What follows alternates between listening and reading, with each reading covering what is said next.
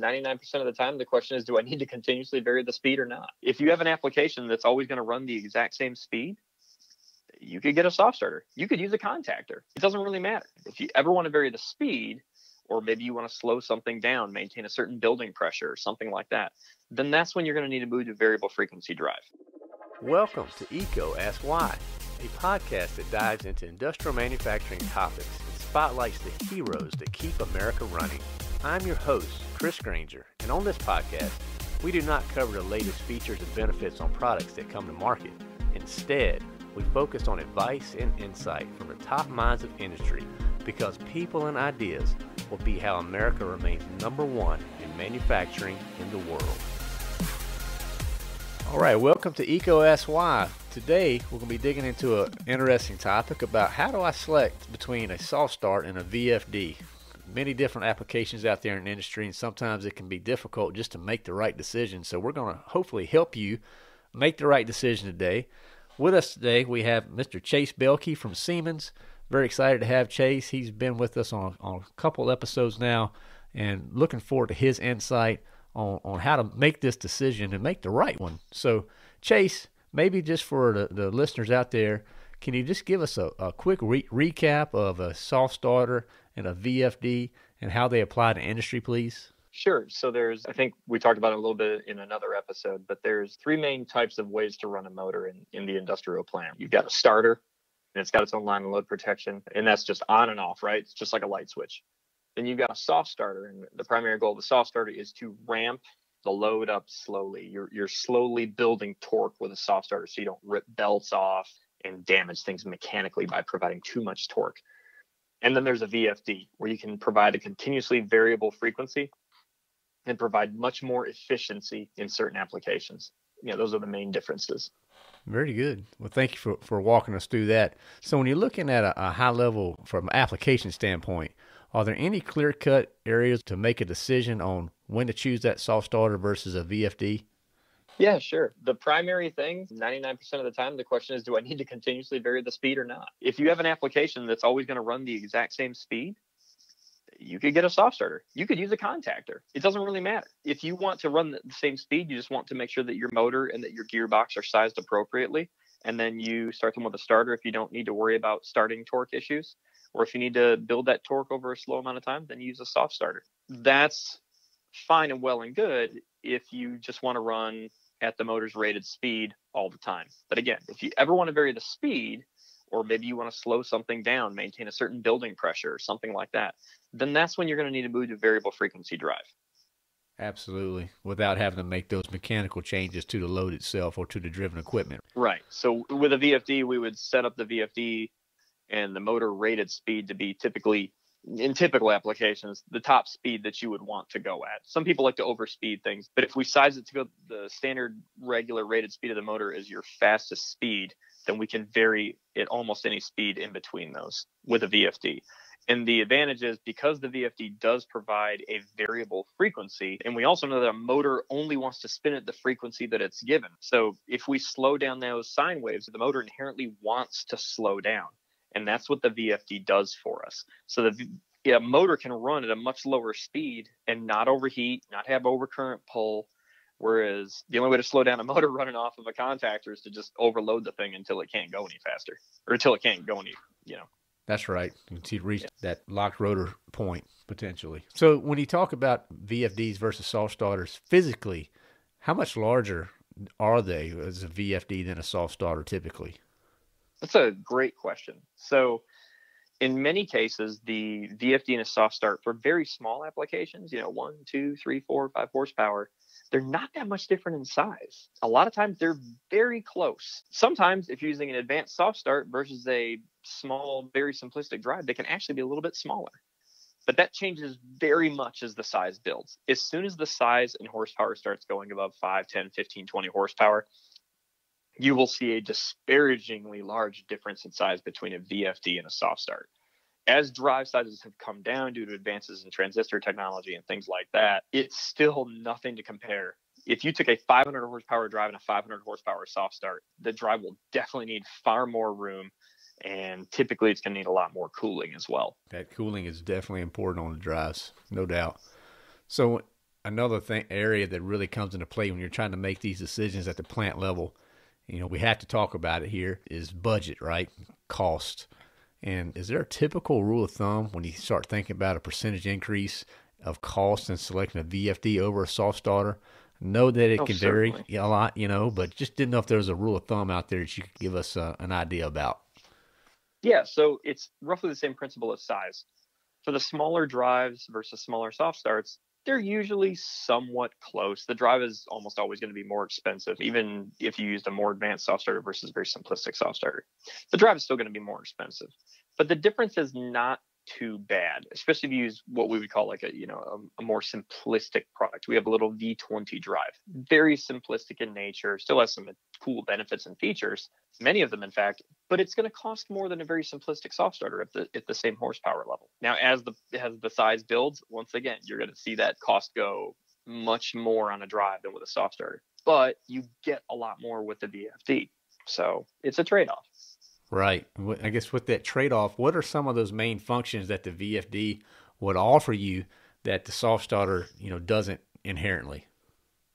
So VFDs can do many things, but one of the main things is we talked about the very first question, right? the VFD is a variable frequency drive. It can spin the motor at a different speed and it can do it very efficiently. Because of that, the soft starter has to ramp it up. It can't vary the frequency. So if you're starting with a soft starter, it's going to pull a truckload of current starting that motor and getting it up to speed. A VFD doing the same application is much more efficient.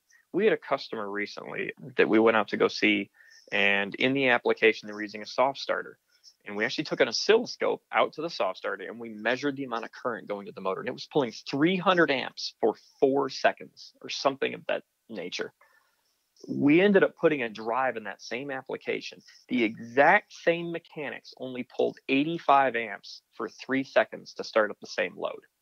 So, because that drive varies the frequency, all the physics change and all the electronics change of how that motor ramps up to speed, how much torque it has, because we can provide the appropriate amount of voltage and we're giving the motor the proper frequency and that slip is always just behind. Not to go too deep, but the drive is a much more efficient tool. It's starting high inertia loads as well. That's one big thing I would say. The other things are obviously, like we said, the changing of speed. You get a lot more diagnostics. You get all sorts of information out of your motor. I can tell you how much torque my motor has on it. I can tell you how much current it's putting out. Soft starters can do that too, but VFDs can get typically much more detailed. I can tell things like how much flux current is going to my motor. There's a lot more capabilities in general. A soft starter can do some of these things, and some of the advanced soft starters can do that. But like I said, the VFD can run in what's called a torque mode. I can supply a constant torque to a load all day long. And I don't have to care if the, the drive won't overheat, the motor won't overheat. I can just tell the drive, sit there and hold this torque all day. You can come back tomorrow and the thing will be fine. Obviously, soft starters can't do that. They're just made to start that load and get it going. Now, did I hear you? Was that 300 amps down to 85 on that application? Yeah, I was very surprised. It was a weird scenario. It was a pretty decently high inertia start, not extravagant, but it, it was pretty high. And they wanted to put VFDs in there so they could vary the speed. And we came back. I did a bunch of calculations. I actually put it into our soft starter tool because we have soft starter app, and you know we, we have tons of apps and all this stuff, which are no charge to customers. But I threw it into the app, and I backfed the amount of load and inertia that, that the load had and made it equal 300 amps. And then I backfed it and sized the drive according to what the soft starter tool spit out in reverse. And um, then I also ran it through our sizer software, which is our, you know, software for sizing loads and drives. And then I came out with I, th- I, think I came out with 95 amps or something. And I, I thought I was wrong, to be honest. But after talking through it with a lot of other people and going back to my good old motor and drive physics books, I found that because the drive actually supplies the appropriate frequency to the motor, NEMA Design B motors, which are one of the most common industrial motors, they give their best torque a little bit shy of what their slip frequency is. But if you're changing the frequency, you're also changing that maximum torque point in the motor. So there's just a lot of behind the scenes stuff that the drive does that a soft starter can't do. Man, that's killer, man. That, that's great. And you said that was a NEMA Design B motor? Yeah, NEMA Design B motors are pretty standard kinds of motors, and they have a different speed torque curve than like a NEMA Design D motor. A NEMA Design D motor provides its highest torque at the very low RPM range, and that's so it doesn't stall. Whereas a NEMA Design B provides its highest torque higher in its RPM band. You, you know, you're talking to a motor guy, but yeah, let's not go down and, and chase those rabbits. We'll do that on another one. You know, right. we'll, we'll definitely do it though. So I got a question for you. So a lot of plants sometimes they work with limited inventory, right? And mm-hmm. they may only have drives on the shelf. So can I take a drive and put that in a soft start application every time? If that, if all I had was drives and my soft starter went bad, could I do that? I really can't think of a situation where you can't. Me being a drives guy, I always want to put a drive in there anyway. But there are a couple things you need to consider things that we've already talked about. One is panel space. That drive's going to be bigger. It needs, typically, it's going to require more cooling power, right? Remember that in a very inexpensive soft start, it's going to switch over to a little internal contactor a lot of the times. Not all manufacturers and not all types, but sometimes it wants to do that. The drive is always running off of its transistors, so it's always making heat. And that heat needs to be gotten rid of. So you need adequate cooling in the panel, and it's also physically larger. So a lot of times what I see is people will put a VFD in a panel and they'll put the cable tray down right on top of the drive. And you've really done nothing but make a convection oven. So now we're just spinning hot air around the heatsink, but it's not getting out. So you can bake bread in there, but that's about all it's going to be good for. Right. yeah. I got you, man. I got you. What about from a maintenance standpoint? Any advantages of one versus the other here? You know, typically in the standard size range, soft starts are going to be a, a, rip and replace. Drives offer a couple more replaceable components than soft starts in general, but drives also have more pieces and parts sometimes. So it depends on a lot of factors as well. If, if you go back to that standard kind of soft start where it uses the transistor, well, if it uses it switches to bring the load up to speed, and then it switches over to its internal contactor, and it does that very often, you can still wear out that internal contactor Whereas the drive is properly maintained and kept cool, the electronics will last quite a long time. And you may have to replace a fan every now and then, but there's not many moving parts. So the longevity of both different kinds of products here is typically very high at this point. VFDs, as long as we're on the topic, one thing that you want to watch out for is if you shelf a drive for more than a couple of years. At that point, you have to bring the capacitors back up to full voltage again very slowly, and there's a process to do that. So you have to be careful of that kind of thing. If you bring a drive out of maintenance, you have to make sure that you reform those capacitors properly. Right. Or that could be a bad day. The drive might work for five minutes, it might work for zero minutes, it might work for two days. I've been told it sounds like crackling and that's a bad sign. If your drive's ever talking to you, other than the standard four kilohertz carrier frequency whine, you probably want to shut it off. Right. Absolutely. That's right. How about overload protection from you know one application to the other? What varies there? They both offer pretty similar overload protection speaking on generalities right? If you have a 4.3 amp motor you're going to set the overload in both the uh, soft starter and the drive to 4.3 amps. But advantages with the drive you know you're probably going to be doing a more advanced application with the drive but advantages of the drive are going to be things like i can monitor the torque. So we had a customer one time they were making a product and the motor was too powerful for the application and so occasionally when stuff would get bound up, the wheels would break apart because the motor was too strong. And so in that situation, the motor wasn't overloading, the motor was fine. But it was ripping apart their very nice, expensive application. We went into the drive and we put a torque limiter on the drive. And so as soon as the drive found out that it was going above, you know, three, four, five newton meters or whatever, it would limit that torque. And so now the customer had saved their application by using a drive. That's something that you can't do with a soft start. Absolutely, absolutely. I mean, speaking of torque, you know, does constant torque and variable torque play in consideration with making these decisions for drives versus soft starters? Yeah, soft starts have their own set of guidelines for sizing. You should always check with the manufacturer. Some soft starts have to be started only a certain amount of times per hour or, you know, so many times per given amount of time. Drives are very different. They're always running off of the electronics, so it doesn't matter. You can start and stop a drive 85,000 times, it, it doesn't care as long as you're not going over the drive's rated current, right? So that's what speaks toward the variable torque and the constant torque. If you do need to go over the drive's rated current for any reason, then you have to make sure that it's sized appropriately for it. Motors are really good at holding thermal energy, right? Or taking a long time to overheat.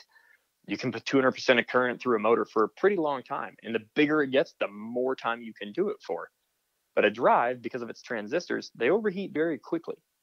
And so using a constant torque application, we would use what we call a high overload drive. And that basically means it can supply more current to the motor for a longer amount of time. Okay. Very good. Well, thank you for walking us through that, Chase.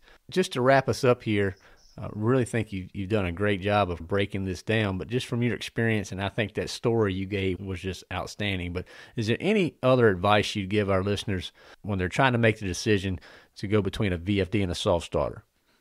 Absolutely. I sell drives, so you can call me directly. And no, I'm just kidding. That's right. it really boils down to that very basic principle. Do I need to vary the speed a lot? Or even sometimes if I have a conveyor that one day it's running a certain product at 900 RPMs and the next day it's running at 1800 RPMs, could I do that with a soft starter? Well, no, not unless I change the gearing. And not many people want to sell multi-speed gearboxes anymore. So really looking at whether I need to vary the speed or not, or whether I want to do advanced things like maintaining a limited amount of torque. Maybe it runs at the same speed all the time, but I never want it to go over a certain amount of torque and it's too expensive to replace those kinds of situations.